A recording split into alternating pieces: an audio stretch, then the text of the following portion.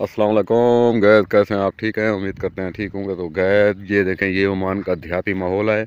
हमने पहले भी आपको वीडियो में दिखाया था और अब हम आपको दोबारा दिखा रहे हैं क्योंकि हमारा काम जो है ना एंड तक पहुँच गया है। ये देखें, हमारा काम जो है ना बिल्कुल एंड तक पहुँच गया है, ख़त्म होने वाला है, बल्कि ख़त्म हो चुका है।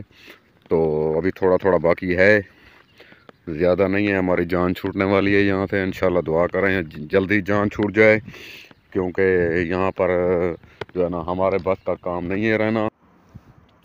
बिल्कुल दोस्तों, हमारा काम नहीं है यहाँ पर रहना, क्योंकि यूट्यूब पर मेहनत करना और मज़दूरी करना, ये डबल काम करना हमारे बस का काम नहीं है। या तो हम यूट्यूब चैनल छोड़ देंगे, या तो मज़दूरी छोड़ देंगे।